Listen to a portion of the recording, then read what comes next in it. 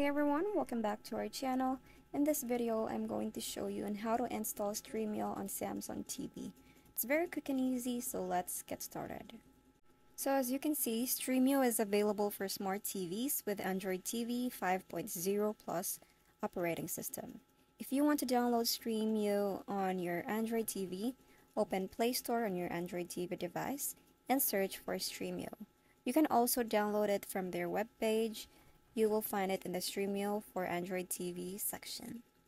So now let's go to their webpage. Just search their website. It's stremio.com slash downloads. And after that, tap on download. Now scroll down. Now tap on this to download Stremio on your Android TV.